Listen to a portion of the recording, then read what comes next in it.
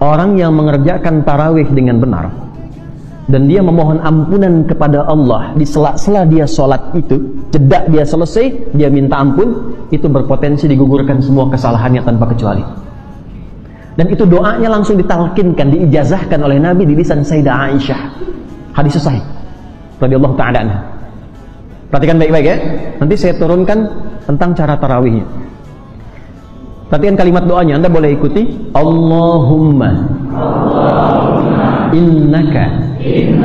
Afuun tuhibbul afwa. Fa'fu anni.